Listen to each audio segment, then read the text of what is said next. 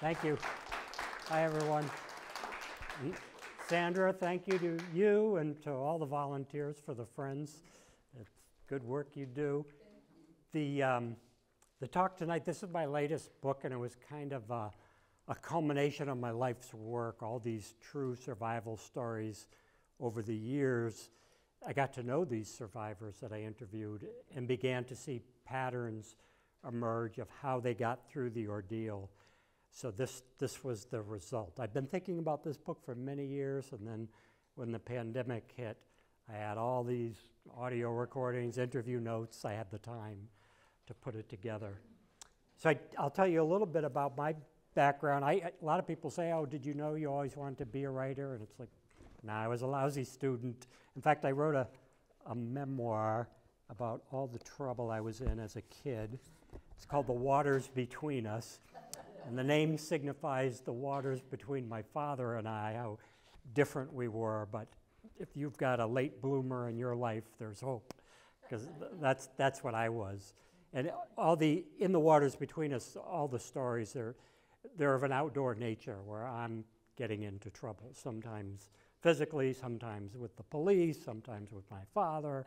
But that was the pattern. And then a, a family tragedy is what made me become a man and kind of understand my father. But before that, I'd been doing mostly uh, books with a New England focus. I did uh, co-wrote a book on King Philip's War with Eric Schultz, and then I did a, a novel about the war. It's a, it's a love story between two Native Americans, fictional, but all the events are true. And so I found, oh, you're doing a lot of serious topics. You got to lighten it up now and then. So I did uh, this book there's a porcupine in my outhouse. Misadventures of a mountain man wannabe. Because at the end of the waters between us, it ends with me buying a cabin in northern Vermont when I was 22 and trying to live up there, you know, off the land, make my living as a wildlife photographer, and failed miserably. so a little bit like Bill Bryson's A Walk in the Woods. And so on this side, I brought all my books today. So this side, there's some books at half price and even at $5, because as Thoreau said, I now have a library of 700 books, 675, which I wrote myself. Um, that's, that's my case in my garage.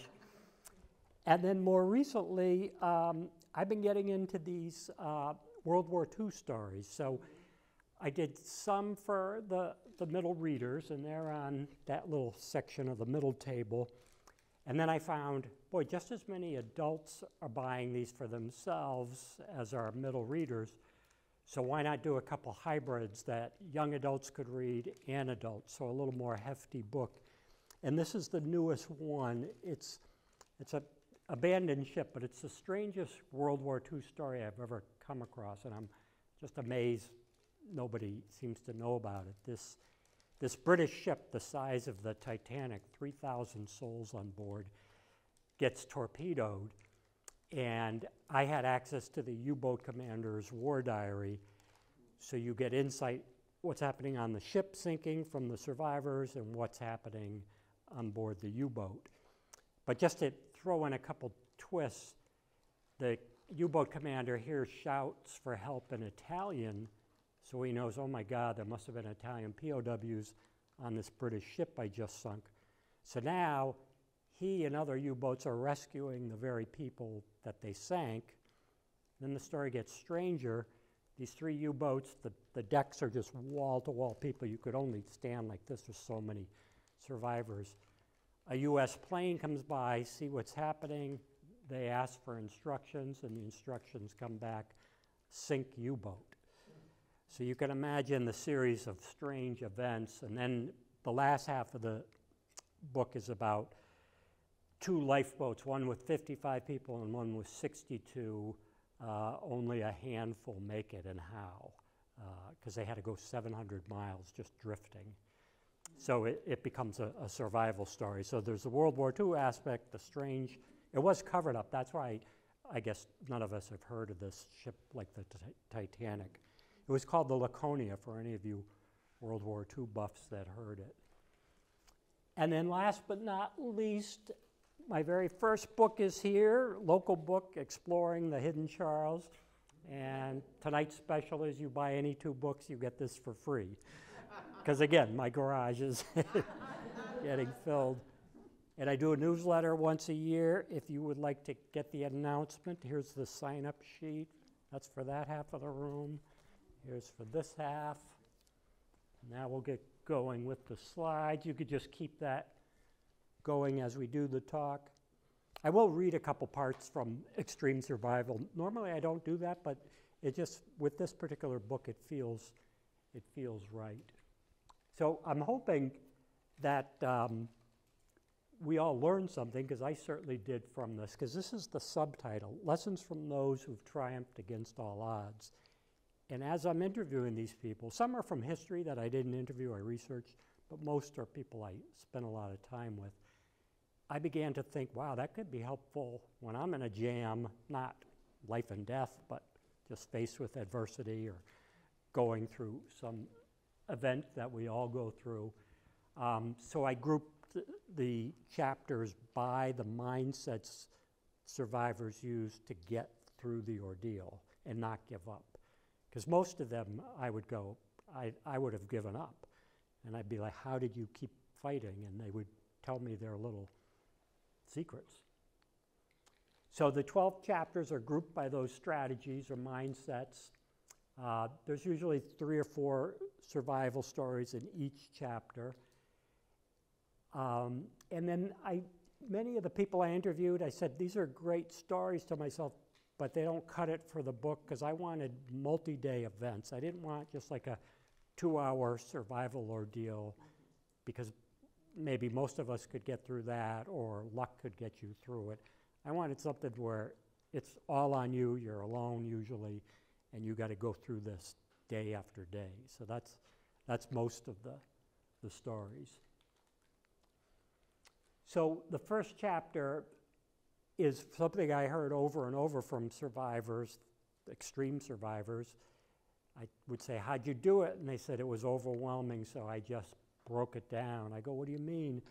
And they said, For example, one gentleman said, I just took it hour by hour, and I said, I'm just going to focus on whatever I can do the next hour to stay alive. Then I'll decide whether to fight on or give up. And he would start stringing hours together, and pretty soon it turned into a three day survival ordeal, and he, he did make it. So they, they broke it down into just those little steps asking themselves, how can I improve my situation?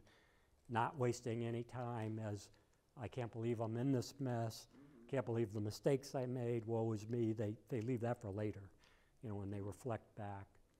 So these two, I thought I'd start with these two because they're both from Massachusetts, both these, these men.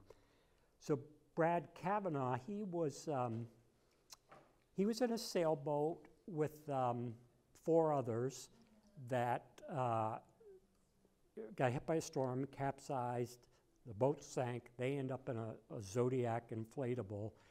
And I'm going to read his story was so just made my hair stand up. I thought I'd open the book with it. So here's Brad. I got to know him a little later after the, the event.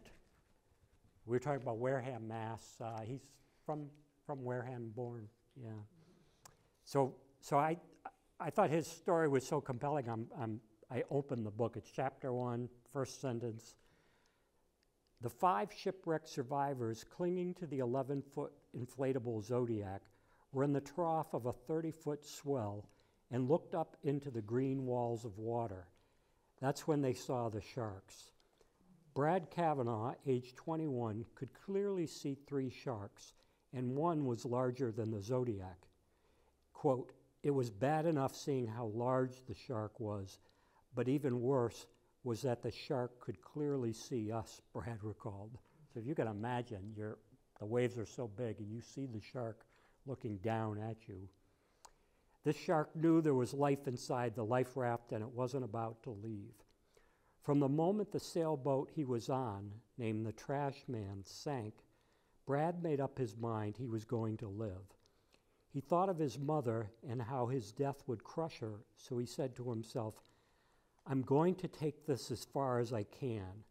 And because this is now my world, my reality, I'm going to embrace it. I'm going to fight to the end. So, in that one little quote from him, there's a lot of survival strategies. One, he's not in denial. He says, This is my, my reality. Two, he's thinking of not just himself, his mom. And then three, he's got that mentality of, I'm going to take it as far as I can. And the other gentleman you'll meet in a minute, Ernie Hazard, some of his words were almost the exact same to me. So their mindsets were so similar.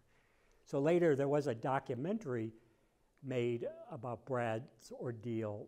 And this is pretty accurate, Brad said. The sharks were circling when the waves went down.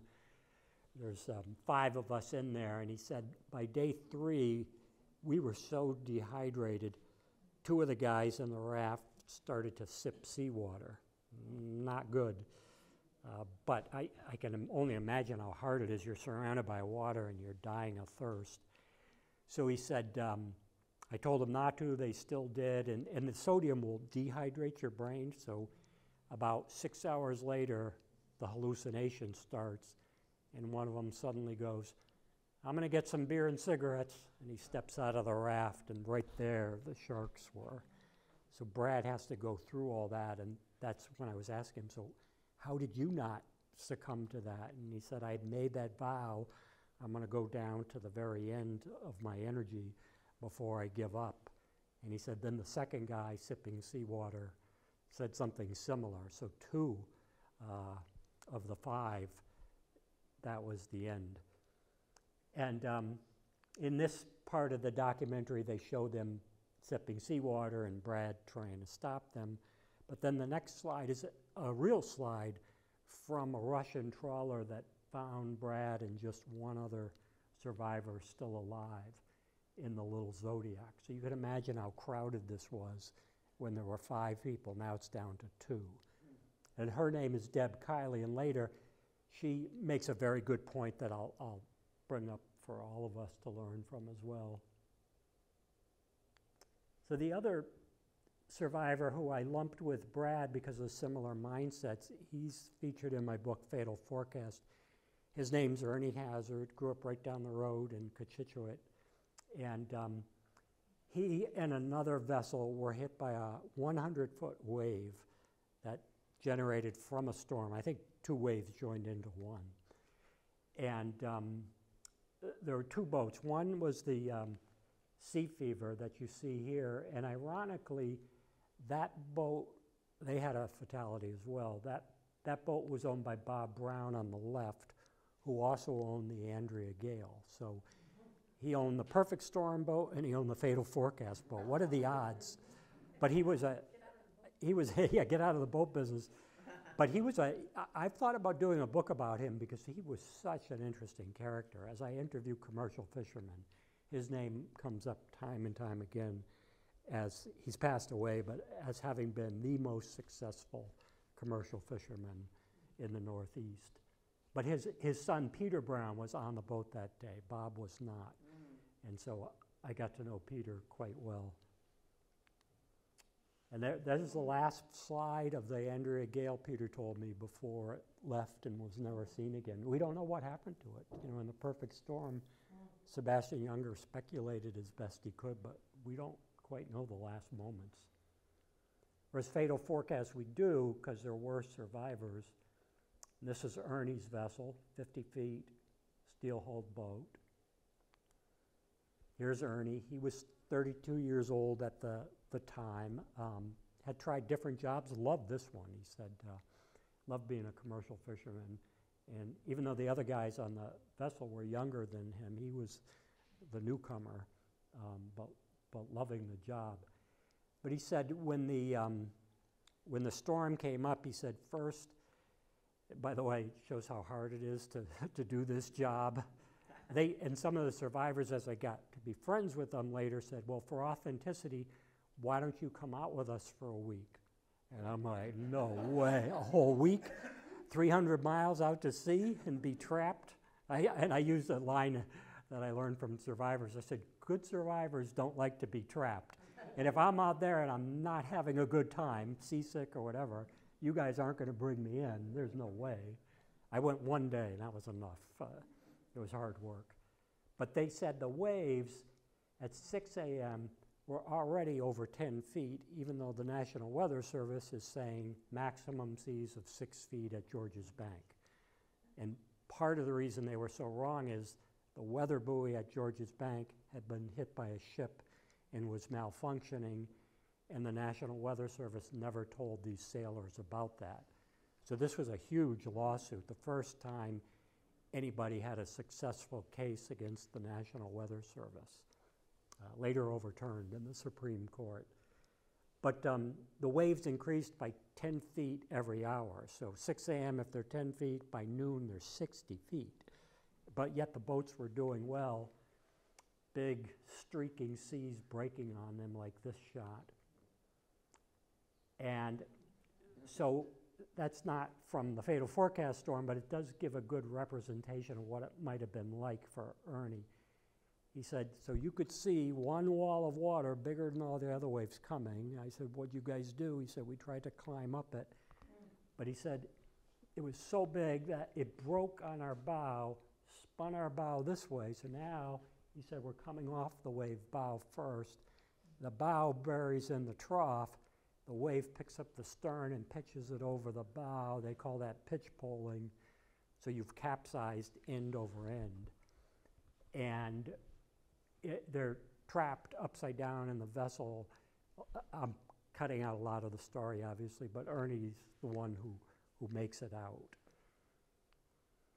And he said, at first I found a bucket. He said there was so much foam and crashing seas I couldn't get a decent gulp of air, but a bucket, I turned it over, trapped air in it, gave me a little height, you know, in the water, and I could breathe. But he said I could see the boat drifting faster than I could kick with the bucket.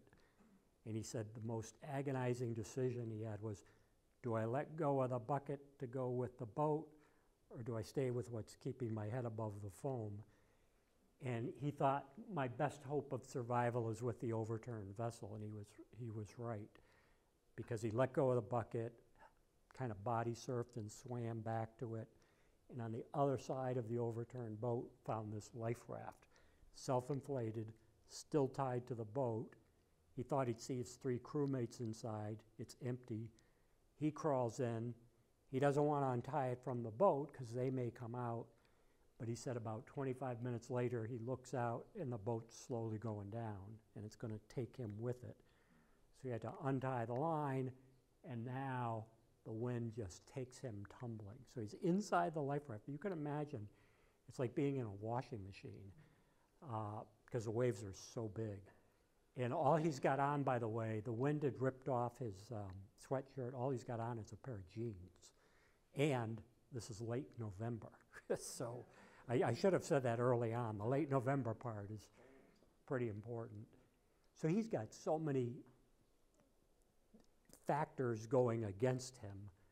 And um, I tried to visualize what a big wave would look like. And in my book, A Storm Too Soon, this is from that book, you can't, the, the wave is so big you can barely see the life raft. See the little circle there?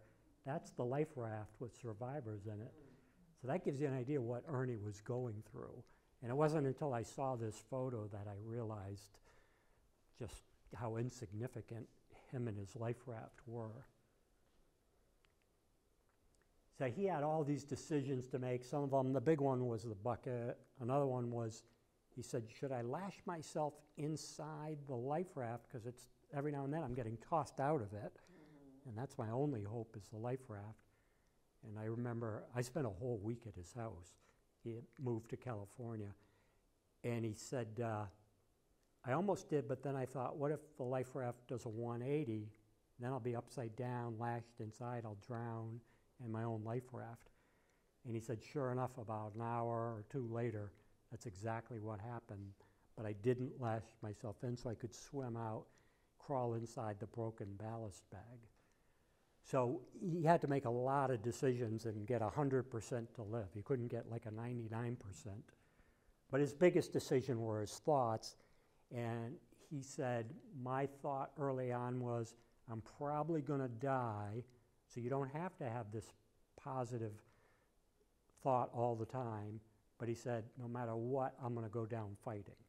He knew the odds were long, but he said, I'm not going to give up. I'm going to die fighting. So he's made that, that vow. And he's actually talking out loud to himself. And three days later, the seas went down and they found him. It's a miracle they found him. So a plane spotted the life raft. They sent out a Coast Guard cutter. The cutter sent out this little launch. I interviewed the man at the wheel on the launch, Tom McKenzie. He said, So we're pulling up to the life raft, and I'm, you know, I've been told no one could be alive because you're off the charts in late November. So I thought we'd see four dead sailors in it.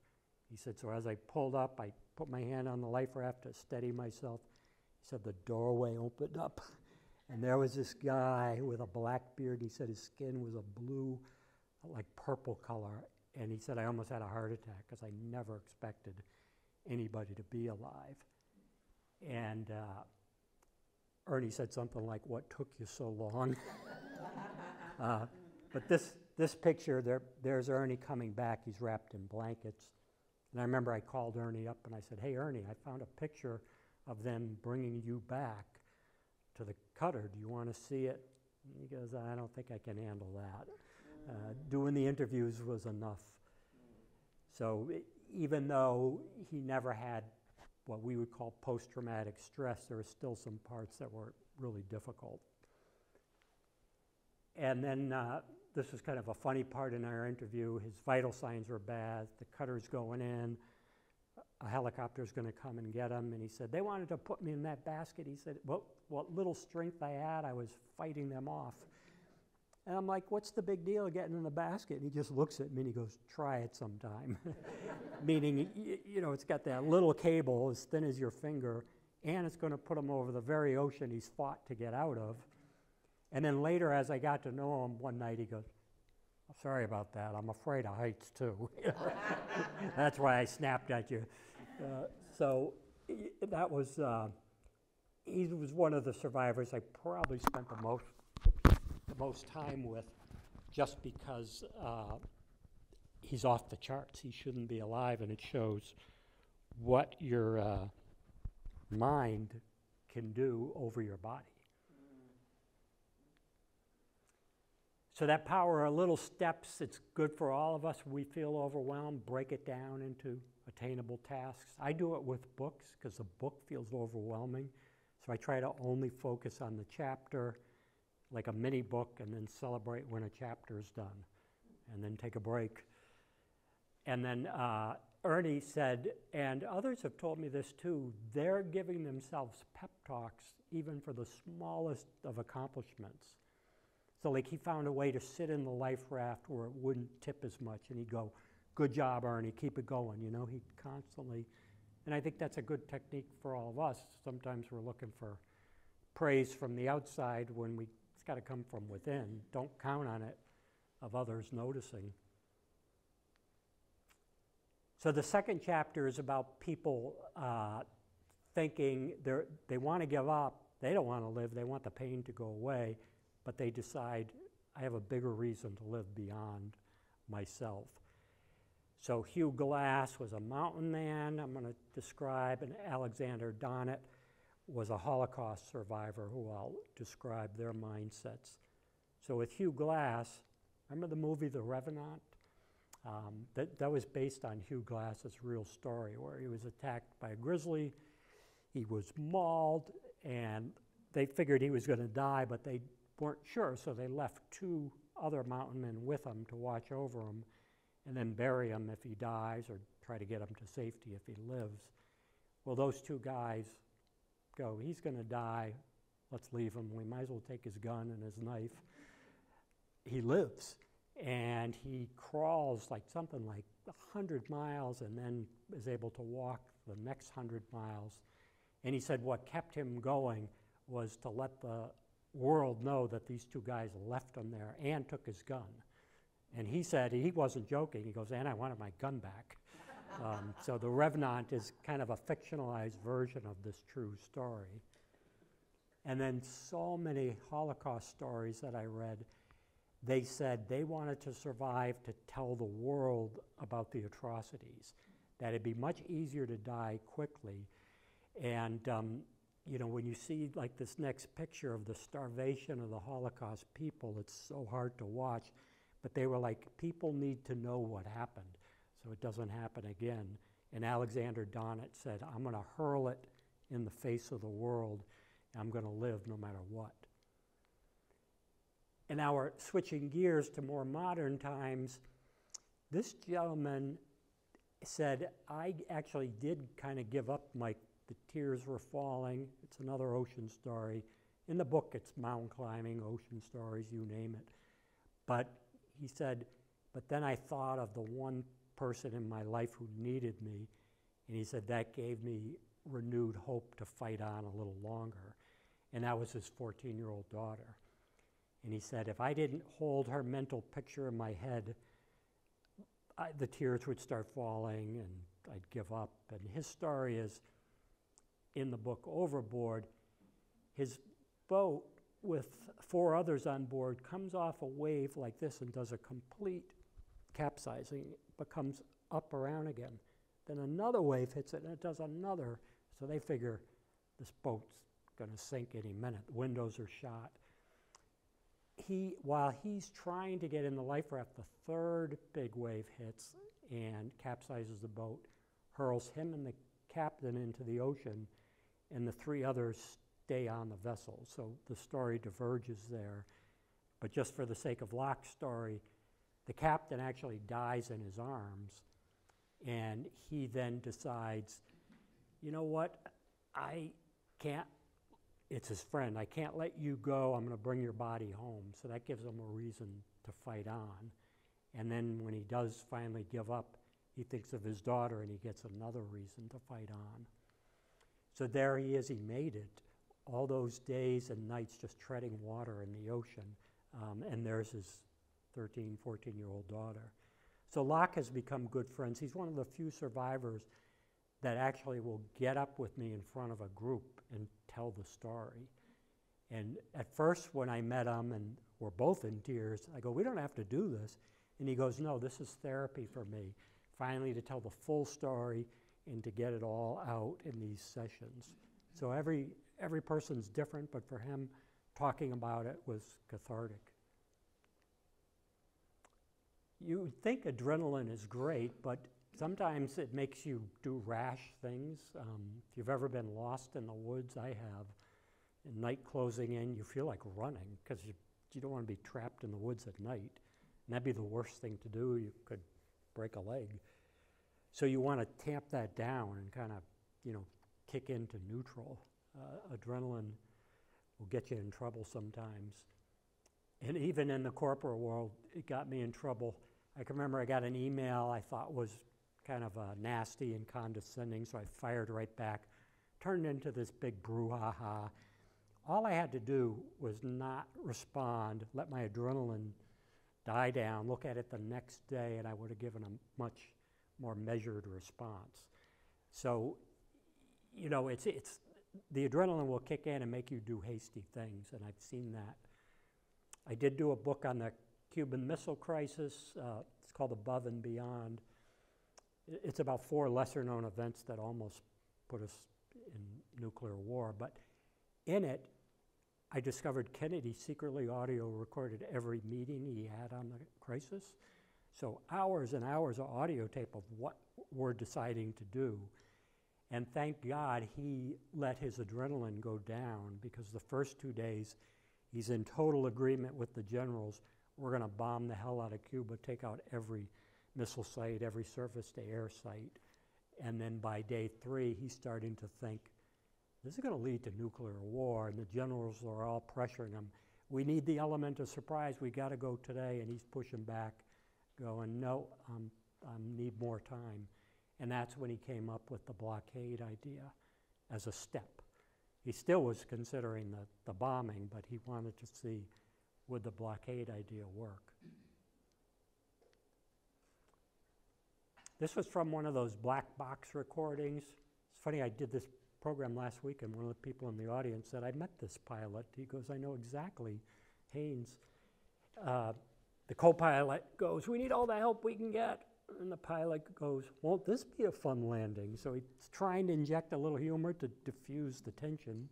Kennedy would do that in his meetings too, by the way. And then the co-pilot goes, whatever you do, keep us away from the city. And the pilot goes, I'll write your pilot certificate if we make it. And then he goes, when we make it. So he's trying to give this co-pilot that confidence that they can do it.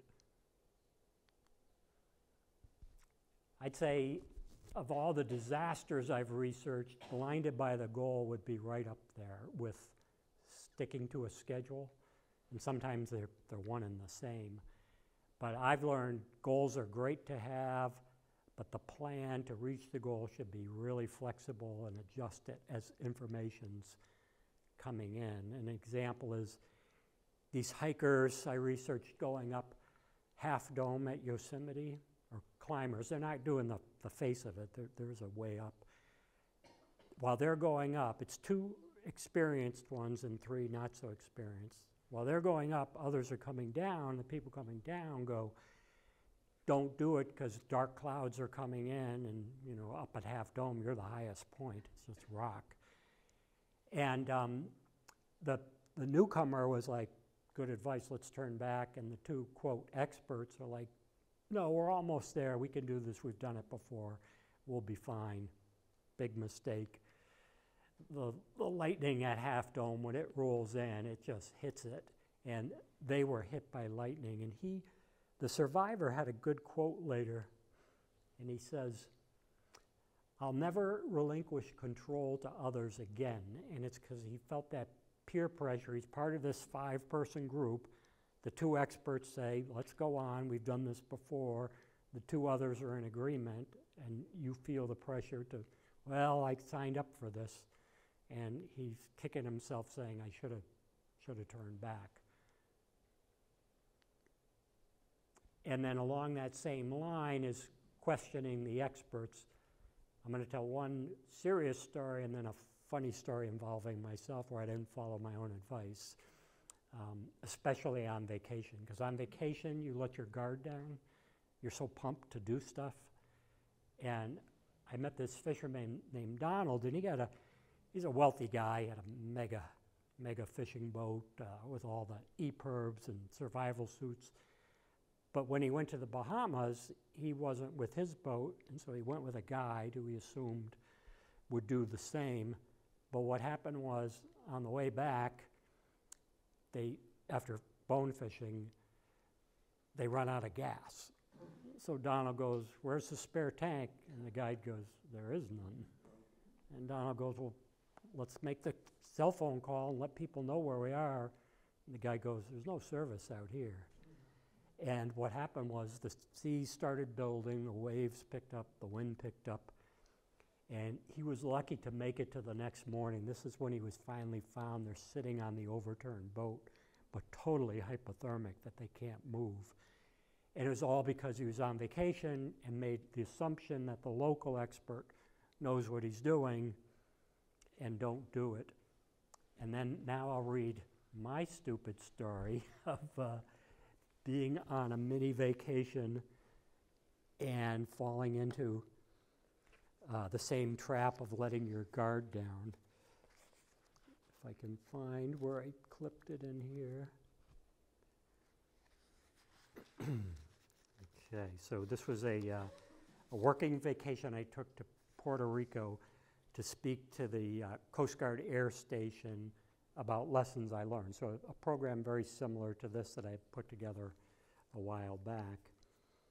And um, so I was at this place, La Jolla Beach. The snorkeling did not disappoint, and I stayed along the sheltering rocks, and the swimming felt nice and easy. And well, it should. A current was taking me along. I hardly noticed the current because of the beauty of the colorful fish below me. I had a mask and snorkel on, but no flippers. Then, where the rocks ended at the open ocean, I tried to body surf some waves back to shore, just like a couple of surfers further. That's when I noticed the current was exceedingly strong. A wave would propel me forward, but then the backwash would take me right out again. After five minutes, I was making absolutely no progress towards land. I was being carried by the current parallel to the beach, and by stroking hard, I managed not to be taken further offshore, but I was growing tired and basically just holding place. Had I been smart, I would have hollered to one of the surfers for help, but I was embarrassed to ask for assistance and kept thinking, just one more minute and I'll be out of this current. I didn't think it was a riptide, but I now started swimming more parallel to the shore instead of directly at it. After another five minutes, my feet touched bottom and I was able to rest on a sandbar. Then I swam for shore, and this time the current was still strong, only now it was taking me back towards the rocks where I first snorkeled. It was like being in a giant eddy. I finally made it to shore, and as I lay panting on the sand, I counted all the many things I had done wrong. Perhaps the biggest mistake was that I entered unfamiliar waters when the ocean waves were enormous, and most stupid of all, I was all alone, and if I were dragged out to sea, no one would miss me. Wait, let me rephrase that. The Coast Guard, who had hired me to discuss decision making and safety, would have noticed that I didn't show up for my talk the next day by that time I'd be halfway to Spain. so, so it's a mistake we all make, and um, I've done it a couple times on vacation. So don't trust the local experts. I follow that story up with another guy who went, um, uh, I guess it's hang gliding with an instructor. The instructor forgot to buckle him in. So now the guy's just hanging like this. And amazingly, for 10 minutes, he was able to hang on by his fingertips. And it's because he didn't even check did they buckle me in properly? So there's a lot of psychological studies on survivors, and they say the best survivors are those who are kind of got an independent streak or a maverick. And I think that is true because a lot of the people I interviewed certainly fit that mold. People raised to be good aren't the best because they're kind of going along to please others instead of trusting that gut feeling, which we'll talk about in a minute. If you have the option and it, the situation has some degree of risk, choose the decision that's reversible because you can always bail out because good decision makers will bail out. They don't like to be trapped.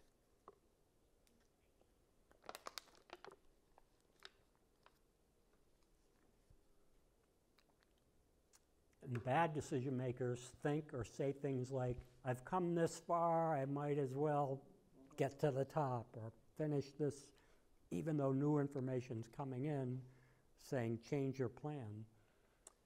Um, when I used to coach basketball for kids, the younger kids would dribble into corners. I go, don't do that because you're trapped. Good decision makers don't want to be trapped. All you can do in a corner is pass. They're probably going to pick it off. I say, go to the top of the three point line. You could shoot, you can pass, you can drive to the hoop. So this was a woman who was with Brad in that raft where the guys said, I'm getting a beer and cigarette. Uh, and I love what she said. A list of pros and cons is not always as important as whether it feels right. And what she's referring to is none of it felt right to her before she got on the vessel and she tried to get out of it, but the pressure was, come on, you signed up, we're counting on you. But she, she didn't do it because she couldn't articulate why she had a bad feeling about this trip and vessel.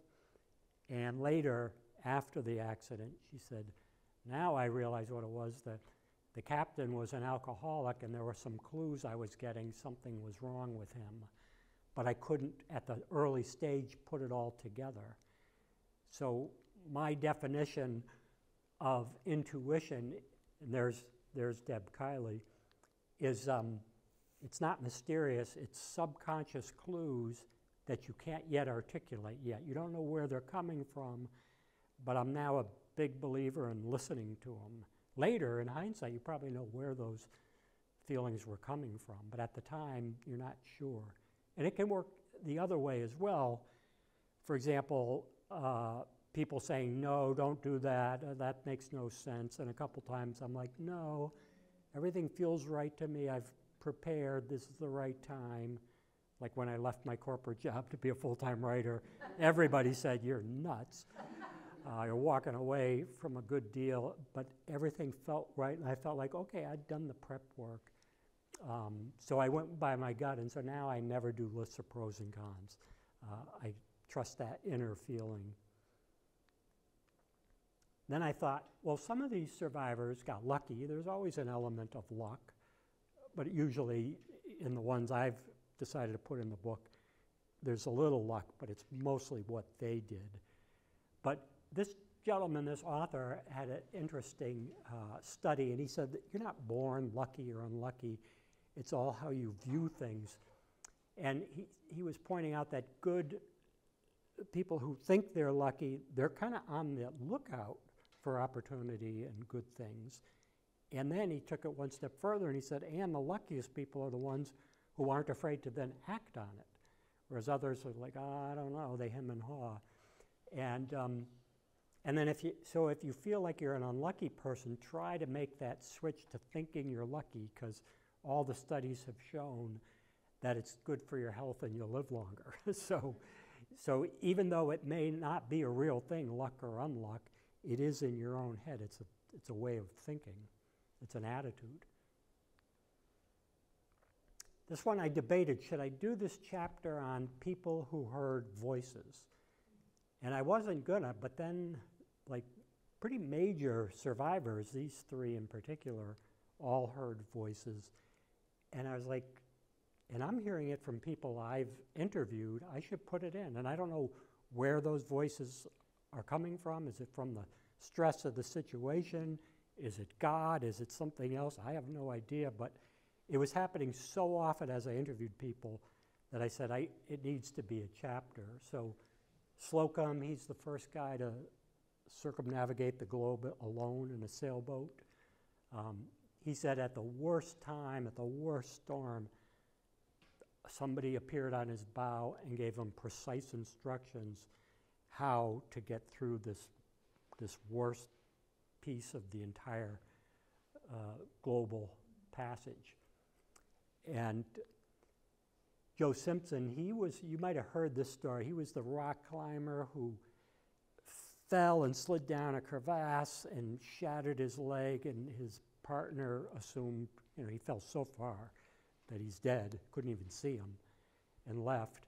But he wasn't dead, and he starts to crawl out of this crevasse, you know, using the pick, going a foot at a time. He said clearly there was a voice. It was not in my head, it was not me. It gave me instructions of precisely what to do whenever I wasn't sure. And he said it was loud and it was not me. And again, I've heard it too many times. And even when somebody like Shackleton, one of the most famous survivors and best leaders of all time, says something similar, you have to listen. And Shackleton's experience came at the very end of the ordeal. He and two others had to go for help because the rest of the crew couldn't walk anymore. And they had a long trek over the ice. And he said, the whole way, I felt the presence of another being, and these encouraging thoughts were zipping into my mind at times. And he said, when we got to safety, it was only then that I asked the other two guys, Did you feel anything out there? And they described the exact same sensation. So there's a whole uh, theory around that. It's called the third man factor. There's always a, an extra person with you. So it was Shackleton who made me say, you know what, I'm going to do a whole chapter on that because too many of the people I'm interviewing are saying similar things. Uh, being, you know, like Brad, he knew he was in serious situation. But when you hear everything is under control, your antenna should go up, and it's not. that, that is my warning, and I'm not going to listen to experts if I if my gut's telling me otherwise. And a good example is, do you remember? This is a few years back. Isn't it funny as we get older, everything seems like it was just two years ago? the Costa Concordia, that big Italian liner hit the rocks. Well, the captain gets on the intercom, tells everybody everything's under control. Thank God it was a passenger, and she thought, the ship is listing. We're, I feel it. This is not good. I'm going to call the Coast Guard if he won't. She saved a lot of lives by making that call. And then the ship did go over. And who was the first one off when it went over? The captain. Um, so it was, uh, he was in denial. He could not believe that by kind of showboating, he'd gone so close to shore, he hit the rocks, that this giant ocean liner was in jeopardy of going over. But that's, that's what happened. These survivors would uh, try to take the things that they thought were out of their control and you know, push them aside and not think about it. So again, going back to Ernie Hazard, we're sitting at his house with a beer, and I go, you know, you're out at Georges Bank, you're in that life raft. There's a lot of sharks there. Weren't you worried about that? And he just goes, Mike, give me a break. That was the last thing on my mind. He goes, I was going to die from drowning or hypothermia. It's late November. And I thought later, what a good way of looking at it, because he couldn't do anything about the sharks, and they're probably, they are attracted to life rafts. I've interviewed so many people. The sharks just, it's a structure, they come to it. But he had no control of it, so he said, I, he even joked about it. He said, they were welcome to me. I had much bigger concerns than sharks. And then Amy Racina, she was hiking and fell off this cliff, shattered both legs, and uh, she's worried about the flash flooding potential because she's down in this ravine. She's like, can't control that. So she's looking at the power of little steps. What can I do? She said, why don't I try going 10 yards? Because she knew the trail she fell off of, nobody would find her because very few people were on it. And she knew there was another trail that was more well traveled, not too far away, so she set her sight on that. And she said in her book that she did it in 10 yard intervals and put together two full miles and, and made it. And then here's a, an interesting story. I'll see how I'm doing for time. Happened just last night. I figured I'm going to call this survivor I wrote about but never interviewed. I just researched his story. His car went off a cliff. He got trapped in it. Uh, the car crunched on his leg, so he couldn't get out. And he's way down a ravine. Nobody can hear him shouting for help, so he's, he's trapped in it. And he did what I thought was great resourcefulness.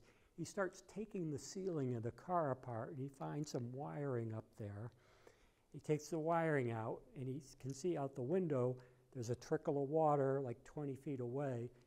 And he ties his t shirt to the wire and uses it like a fishing pole and dips it in the water, then brings it back and wrings the water out into his mouth. And he survived 16 days like that.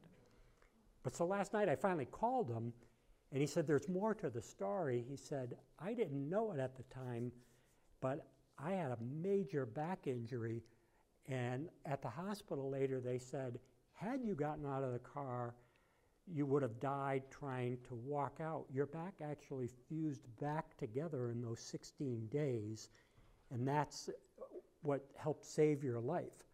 So he was like, the very part of being trapped, he did lose part of his foot, but he said it also saved his life because they said, What happened to your back is remarkable. And he said, they would have, had I done that and gone to the hospital, they would have kept me, you know, in traction where you don't move. He said basically in the car, all I could move was my arms. And so it was an interesting phone call. So I'm always learning new stuff. I did ask him, has your life changed in any way, having gone through that terrible ordeal? And he said, no, I'm still up for a challenge. And then I said, I would have never made it. I would have never figured out the wiring, and I would have given up why, would, why did you make it since I never interviewed you before? And he said, I don't know. And then I kept pressing him about his background. He did, then he finally said, Well, I was a Green Beret and did go through the training. that, uh, that helps. It, uh, so it was, you know, you have to keep digging. And he said that helped. Yeah, his name was uh, Johnny Vitalik. And then another woman from Massachusetts, Mary Rowlandson, she's in uh, my book, Until I Have No Country. She's captured by the natives while other people are dying in captivity. She's so smart, she's making herself useful to the natives. She's knitting hats for the kids. She's uh, helping gathering firewood, anything to get a little more food, because they're all starving at the end of King Philip's Indian War. And she makes it 11 weeks of captivity. Just remarkable toughness. We're almost at the very end. Two final people Howard Blackburn. He was in a dory, got separated from the mothership. He's freezing. He feels body freezing. So he puts his fingers that are frozen into claws around the oars. He just goes to himself, I'm going to row until I drop towards land. And he, he makes it to Nova Scotia. The guy with him gives up and he goes quick. But I always thought incredible, remarkable that he just has this mentality until I drop. He did lose his fingers, but the story gets better. He doesn't let this stop him in any way in his life. He later goes on, here he is, and he crosses the Atlantic Ocean twice, all alone, in a 22 foot boat. Can you imagine going back in the ocean that almost took your life? And on one of those, the second passage, he breaks the world record from going from America to England. So just amazing. He was from uh, Gloucester. And then John McCain, his secret was uh, steady strain. In other words, don't get too high when you hear rumors of release because he sees the people's spirits plummeting. And that really jumped out at me because in Abandon Ship, this one about the Laconia, you know, the 3,000 people on board, in one lifeboat, only four out of 55 made it. And the one who made it, I was just reading this before the talk, he said, We were dying, literally dying in the lifeboat. When we see a ship go by and we're going to be saved, he goes, The ship didn't see us. He said, So many of the people in the lifeboat, he said, that was the moment they gave up. He said, One man who he had grown close to just stepped right out of the lifeboat, started swimming away. He was, he was done. He said others started sipping sea waters, others just lack of will died the next day. So he said we went, just because of that one ship, he, we went from 12 survivors left down to the final four. And, and I wondered, why did he make it? Why didn't he get real high? And sure enough, when I read later about his life, he had been on another ship that was sunk by a U boat earlier, so he knew just fight for as long as it takes. That same mentality as John McCain. So, seven years of captivity, and McCain, he had a pretty special life afterwards as well. So, Shackleton, he mixes humor in to keep people going and just doing your best. In my lesson, I'd be a fool not to have learned from all these people I spend time with. And early on, you know, because I've been doing this for 30 years, I began to think, I'm kind of living for the future. I keep thinking I'll be happy when this goal is reached or when this happens. Like, that's the wrong way. You don't know how long you have, and you don't know if that goal will ever be reached. So you're pitting all your hopes. You're trading the sure thing of today for the uncertainty of tomorrow. And I said, I got to get rid of that way of thinking. And so my new phrase is, thank you for putting me on the path too. So you still have goals, but if you don't make it, that's okay. You're enjoying the journey that you're trying to, to get there. There are some videos of the survivors on my website. My daughter put that together of all the different books. So, final thoughts we're, probably tougher than we all think we are because we're all worried about change, but our whole lives have been changed. So, we've already got it through it. And then I kept thinking, what about those situations where we have absolutely no control? And it was the Holocaust survivors who said it best. They would say they could take away everything from us so that felt like I had no control, but they couldn't take away our reaction or our response to what was happening. They couldn't take away what was deep inside our, our mind, and that, that's what kept them going. And then I'm going to close with at the end of Fatal Forecast, I said to Ernie, I wrote the book, and you know, it's me taking what you've told me and putting it into words. Why don't you have a couple pages and just say whatever you think? And so I extracted these three little lines. He goes, These are free years I'm living, so I don't let the little stuff get to me now. And when bigger problems come along, I figure somehow I'll solve them. And that makes sense. He's, out, you know, if you've been in the North Atlantic late November, in and out of a life raft. And then he closes with, I now appreciate the little things and am thankful for each and every day. So that was how he changed, just a very subtle switch. Thank you. Thank you. So people ask me, would you be a good survivor? And I go, I, I don't have the technical know how in those situations. A lot of the survivors were really resourceful, like the guy who takes the wire from the car. That would have never occurred to me. You know, just my brain isn't wired that way. So I think I'd fail the test on that account. On the other accounts, you don't know probably until you're in it.